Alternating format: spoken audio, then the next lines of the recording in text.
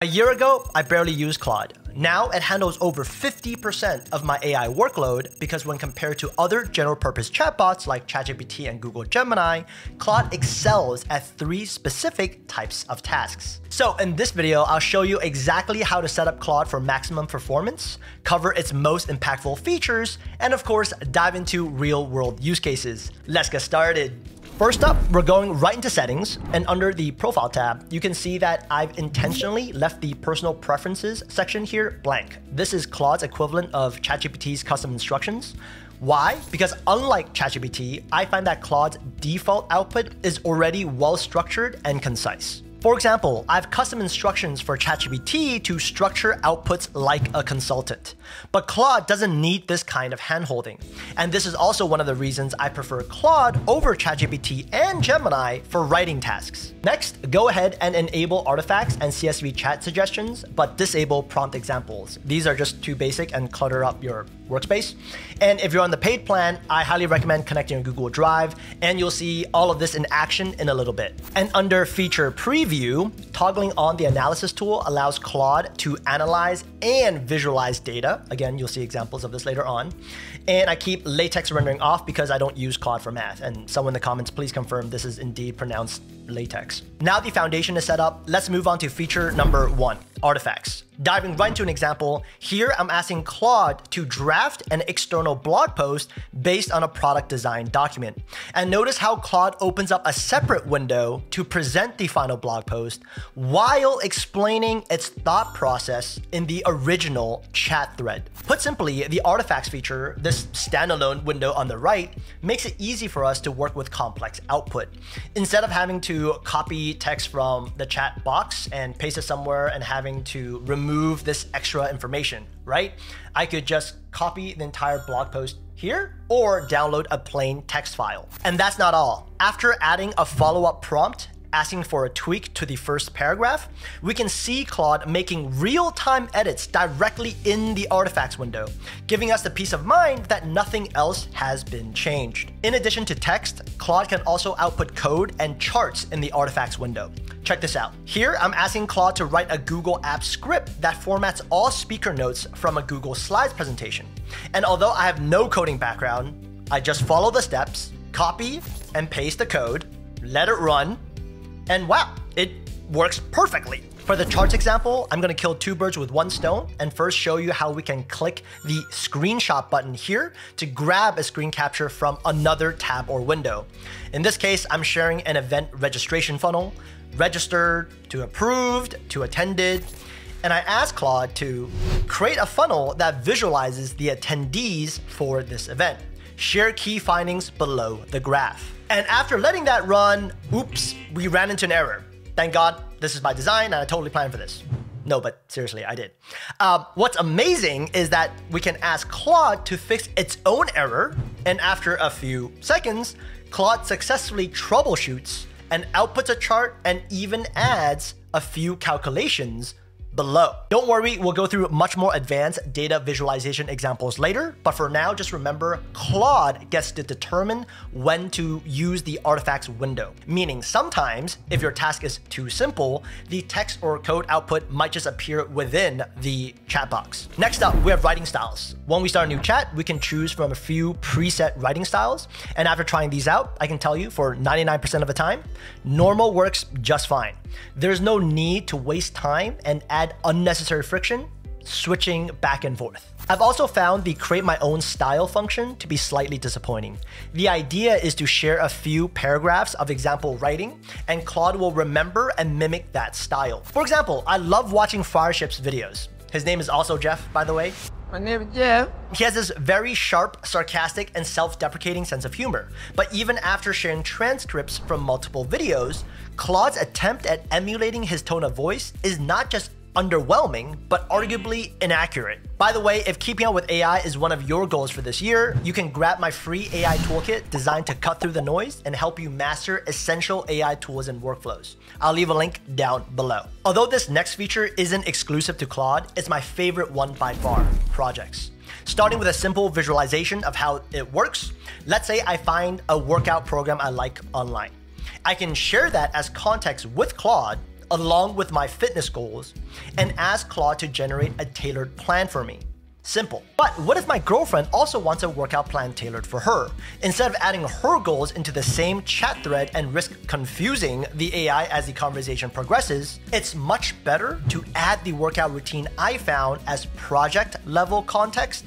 And within that project, create two separate chats with chat level context one with my fitness goals and one with that of my girlfriend's. Putting aside the most hypothetical part of this example is me finding a girlfriend, just think about how much time this feature can save you at work. For example, as a product marketing manager, one of my responsibilities is communicating product announcements. So at the project level within Claude, I attach a comms doc, a product overview document, written by the product team.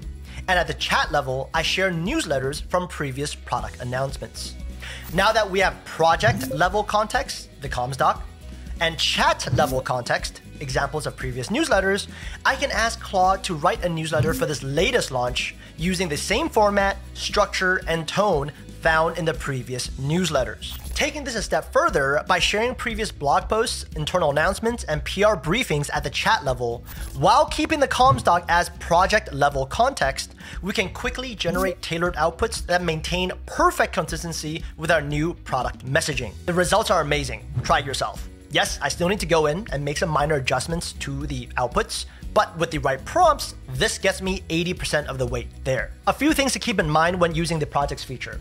First, although we can add text content at the project level, we cannot at the chat level. Second, I like to add project level custom instructions. Since we're announcing a new product launch here, I'm telling Claude to highlight the product's unique benefits and how they solve potential consumer pain points.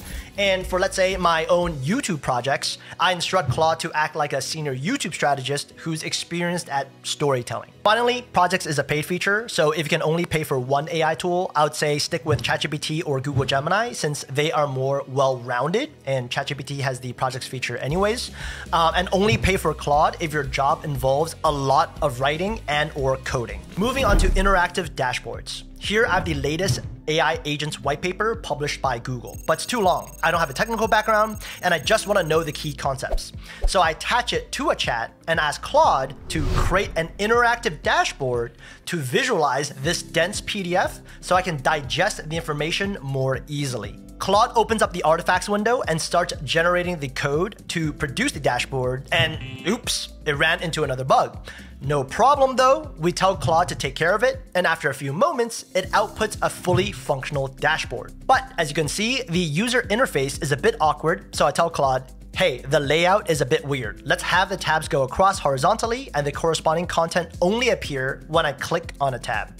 And after a few more moments, Claude makes the changes so that only the active tab's contents are shown. Let's first take a moment to acknowledge how mind-blowing that was. Not only did Claude generate a fully functional dashboard without us writing any code, it also fixed its own errors and made edits to the initial dashboard. Pro tip, make sure to include the keyword interactive in your prompt when creating interactive elements like interactive funnel or interactive charts. Taking this example a step further, I asked Claude to create a simple infographic that summarizes the white paper so that I can share bite-sized visuals on social media and get that sweet, sweet engagement. After Claude does its thing, I guess this is technically an infographic, but still very hard to understand the relationship between these key concepts, right?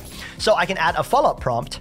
Uh, let's show the relationship and connections between the key concepts in a more user-friendly way and use a black and orange color scheme. And after Claude reruns the code, this is much, much better. Uh, it's a lot cleaner. Yes, there's still issues like spacing issues and the arrows are on top of the text here, but that's okay because I just wanted a visual mock-up of how an infographic would look. And now I can download this as an SVG file and start making edits myself. Now let's talk about data visualization. Earlier on, we created a simple funnel chart based on information from a spreadsheet. But you might be like, Jeff, this data is so clean, it's organized. It's in a table. I'm usually working with unstructured, messy data. No problem, I have a set of messy transaction data right here, and instead of me telling you what we're looking at, let's ask Claude. We'll first download this as a CSV file, and we're gonna upload that onto Claude with this prompt. Act as a senior business analyst, blah, blah, blah. Your task is to analyze the provided data and outline three effective methods or frameworks for deriving meaningful insights. And here, when Claude is quote unquote thinking, we can see the analysis feature we enabled earlier. Claude first analyzes the data, which is great because we didn't share any context. Then Claude tells us what insights we can extract based on its analysis of the raw data. I'm not going to read through all of this, but one thing that caught my eye was customer segmentation. And since I know that all these transactions come from two sources, Gumroad and subscription, I can follow up with this prompt. I like to segment the customers based on purchase patterns. Specifically, I want you to bucket the purchases under Gumroad or subscriptions.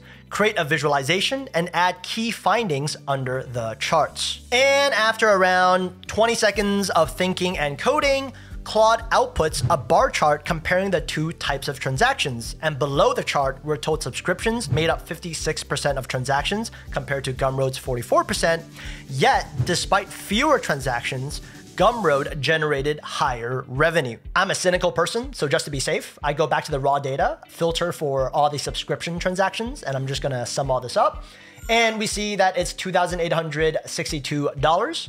And going back to our um, Claude output here, subscriptions $2,862. So yeah, it's accurate. If I wanted to use this in a presentation at work, I'd make some changes to the color scheme and font styles, right? Take a screenshot of this chart here, copy, and insert it within a slide like so. And I would copy the key findings and paste those as speaker notes. Pro tip, include the word visualize or visualization if you want Claude to output some sort of visual element. We went through a lot today, so to quickly recap. First, the projects feature lets us manage context at both the project and chat level, enabling us to generate highly tailored content while maintaining perfect consistency. Second, Claude excels at turning complex information into interactive dashboards via its artifacts feature. And the best part is we're able to easily make adjustments even if we don't know how to code. And finally, thanks to the analysis feature, Claude is able to visualize insights derived from unstructured data in ways that anyone can understand, from simple funnels to customer segmentation analysis. If you enjoyed this, you might want to check out my Perplexity and Notebook LM tutorials next. See you on the next video. In the meantime, have a great one.